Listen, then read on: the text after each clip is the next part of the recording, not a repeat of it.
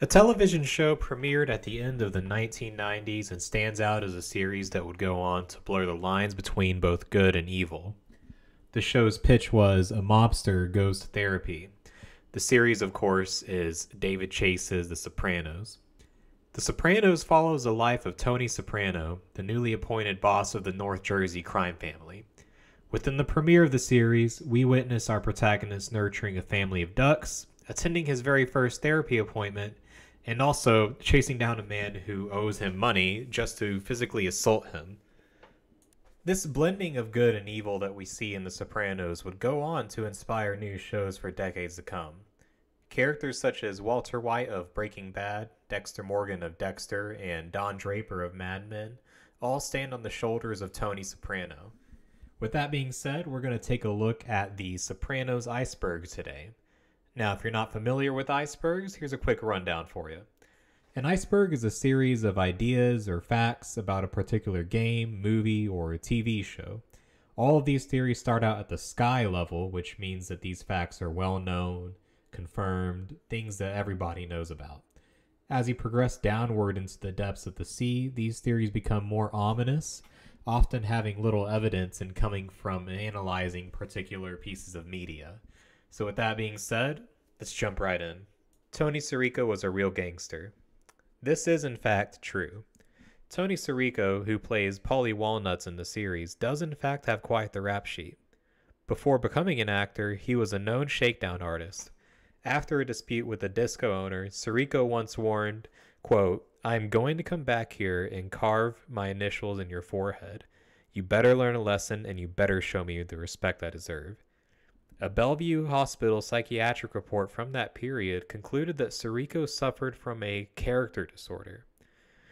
I also learned from listening to the Talking Sopranos podcast that this is why Paulie is always seated with his hands shown on his chest. This is to show others around him that he does not have a weapon in his hands so as to not present a threat. Lorraine Bracco was asked to play Tony's wife, Carmela. This one is also true. According to Lorraine Bracco, the role of Carmela Soprano was too similar to the mobster wife role she had already played in The Goodfellas. She told the Huffington Post, quote, I fell in love with David the minute I met him. When I walked into the room, I said, I like this guy. And I said, Look, I don't think I should play Carmela because I did. I did it in a Scorsese movie, and I got an Oscar nomination. I really don't think I'm going to bring so much to this for you that I haven't done already. And in my opinion, this is in fact true. Lorraine Bracco as Dr. Melfi is one of the best characters of the entire series and really gives people an insight into Tony's mind. Steven Schirripa wore a fat suit to play Bobby Bacala.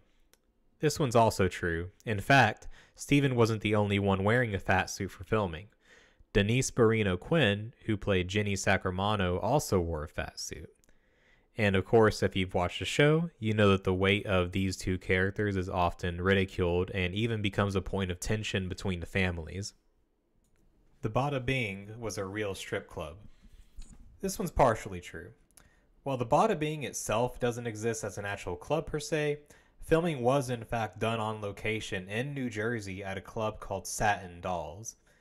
Another deviation from reality is the fact that in New Jersey, being topless and offering dances is illegal in an establishment that also sells alcohol. Which, of course, if you've watched the show, you would know that the ladies of the Bada Bing are often bearing all to see. Level 2 James Gandolfini was often contacted by the Mafia. According to Michael Imperioli, who plays Christopher Moltisanti, this is true. While not necessarily offering advice to James Gandolfini, the Mafia did give him a little edict on the dress code of a Don. Not only that, but this little note about a dress code for a Don also comes up in the show. Outside of that, not really a lot of contact between James Gandolfini and the Mafia that I could find, just this one anecdote from the Seth Meyers interview. Silvio Dante was a character written by Steven Van Zandt. In case you didn't know, Steven Van Zandt, who plays Silvio Dante on the show, was part of a little known band, as well as being on one of the biggest TV shows of the century. Anyways, the closest I could find to this is some information about who Little Stevie was originally going to play. David Chase actually had Steven audition for the role of Tony Soprano, but instead, David Chase wrote the character of Silvio just so that little Stevie could play the role. Ghosts exist in The Sopranos. While I think this is a fun theory, I would mostly disagree with it. Of course, there are many supernatural things that come up throughout the show, such as Paulie's interactions with ghosts, Paulie's own superstitions, dream sequences, illusions. However, these are mostly just storytelling devices as far as I can tell. Level 3 David Chase only directed the first and last episode of The Sopranos. Yes, according to the Sopranos wiki, David Chase only directed the first and last episodes of The Sopranos, which makes sense as these are arguably some of the most pivotal in the series. However, David Chase was still working on many episodes in different ways throughout the show. Tony killed in the finale just like The Godfather. This is, of course, one of the most hotly debated points of the show, that being the ending in the finale. Fans have always argued and been pretty passionate about their own ideas regarding the show's ending, I include myself amongst those who believe that Tony is in fact killed, and there are several hints at this throughout the final season. If this video does get enough attention, I'd love to dedicate a whole video to that idea. This item on the iceberg refers to the pivotal hit in the first act of The Godfather, in which Michael Corleone pulls out a revolver in the bathroom of a restaurant and then performs a hit before fleeing to Italy. Of course, the ending of The Sopranos is very similar in that Tony and his family are seated in a diner, and a man is in fact seen going into a nearby bathroom and coming back out. However, we don't get the privilege of seeing what exactly happens on camera. But again, I'd love to make a whole nother video about that if there's enough interest. Level 4. The hit on Adriana is inspired by the real life murder of Teresa Ferrara. There are some similarities between the character Adriana and mob mistress Teresa Ferrara. Both were partners with high ranking mobsters, both had become informants to the FBI, and both were later murdered by their associates. The cat was Adriana reincarnated. In the later seasons of the show, Paulie is frustrated at the sight of a cat who can't seem to stop staring at a picture of Christopher. There is a point in the show where Adriana also has a cat song, and yes, it is weird that this particular cat wants to look at Chrissy, but overall, I think it's more just a play on Paulie's superstitions that we see throughout the show. The first three seasons show the Twin Towers during the theme song. Yes, the first three seasons indeed do show the Twin Towers as Lorraine Bracco's credit comes on the screen. Later on in season 4, which premiered after 9 11, this is replaced with some generic footage of an industrial area that we used to see the Twin Towers on. Level 5 David Chase's backup plan. This theory states that David Chase had a backup plan to make The Sopranos into a movie if the show had not been picked up by HBO. However, according to a Screen Rant article, the truth is the opposite. David Chase had originally wanted The Sopranos to be a movie, and then pivoted to making it a show at the direction of his manager just because the characters that were written for the movie were so meaningful and needed to be fleshed out. Karen's ghost is at Bobby Baccala's dinner table. When Bobby and Janice sit down to eat the forbidden ziti, it appears that Janice's wine glass moves, and this kind of gave into the idea that the ghost of Bobby's late wife is present at the table. Maybe she was coming back for revenge for eating that ziti. However, if you actually watch the scene, the truth is much more simple.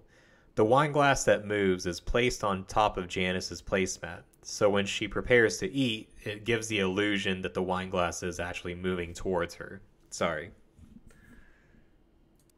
Level 6 The viewers are collectively whacked by the mafia at the end. Really, this is just another theory about the ending of the show. In reality, it's kind of on the same level as the whole Rugrats are in limbo theory for Nickelodeon's The Rugrats. Again, I'd love to dedicate a whole video to my opinion of the ending based on what comes up in the show rather than theories created outside of the show like this one. Altan Dagli, or The Turkish Sopranos. I apologize to any Turkish friends out there if I mispronounced that.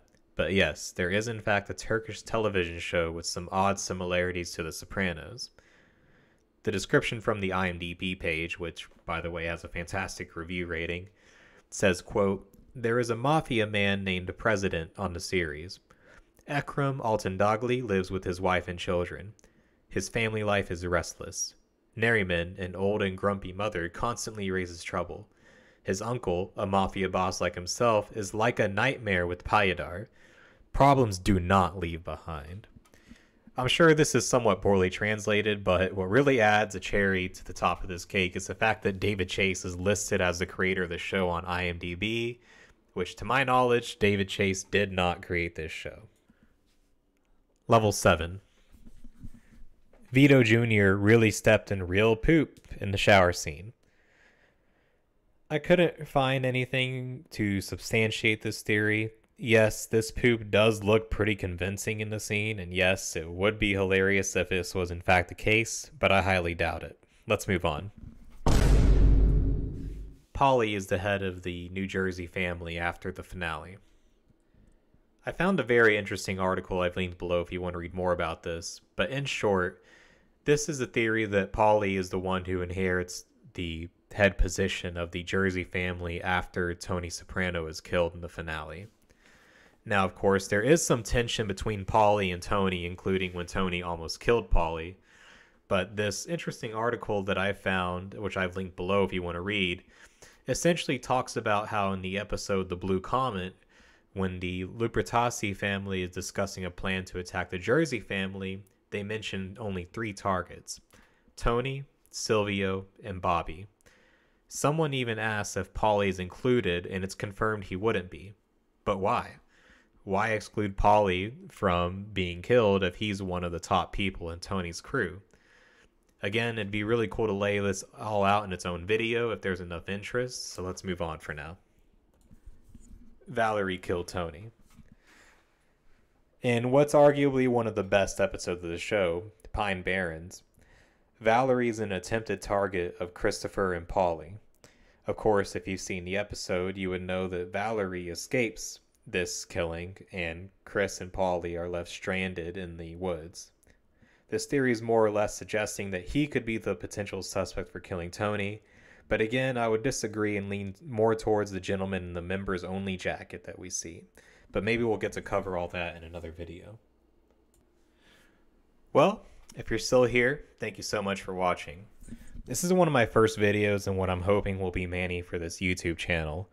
We'll possibly cover The Sopranos, other TV shows, and maybe a little bit of gaming as well. Again, I'd like the next video to focus on the finale of the series as it's one of the most discussed parts of The Sopranos. If you enjoyed this video, please be sure to like and subscribe for future content, and also feel free to comment below as I'd love to hear some feedback.